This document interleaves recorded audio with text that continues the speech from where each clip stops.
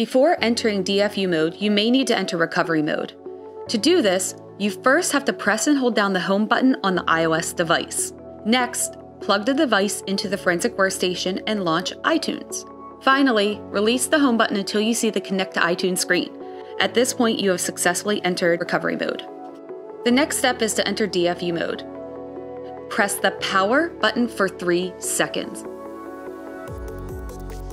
Next, simultaneously hold both the power and the home buttons down for an additional 10 seconds.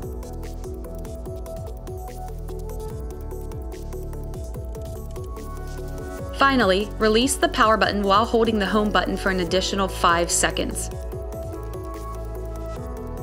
At this point, you are successfully into DFU mode. Keep in mind the power button may be on the top of the device depending on the age of the iPhone or iPad you are examining. If you're experiencing issues while trying to get into recovery mode or DFU mode, I recommend first changing out your cable. Sometimes a simple cable swap is all it takes. The next thing I would recommend is make sure you are following the proper steps that match the device you have.